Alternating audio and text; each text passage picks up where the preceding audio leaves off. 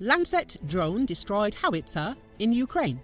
A short clip published by a military themed Russian Telegram channel purports to show one of the latest deployments of a Lancet kamikaze drone against Ukrainian forces. The video contains aerial footage of what appears to be a self propelled howitzer firing shells from the cover of trees which obstruct the weapon. A Russian drone, said to be a Lancet, then swoops in, scoring a direct hit and starting a fire.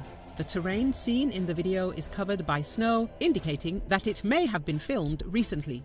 The strike was attributed to the Black Hussars. The nickname is used by troops from the 15th Separate Guards Motor Rifle Brigade, which is based in Samara region. Its members are reportedly fighting on the front line in the Donetsk People's Republic near the Kiev-controlled city of Krasny Liman.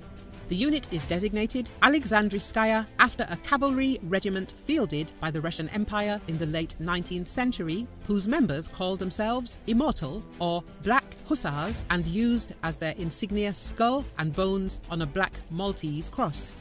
The Lancet loitering munition has been described by military analysts as one of the most significant threats that moderately armored Ukrainian heavy weapons face on the battlefield. Produced by a subsidiary of Kalashnikov, the drone comes in two main versions with payloads weighing 1 and 3 kilograms respectively.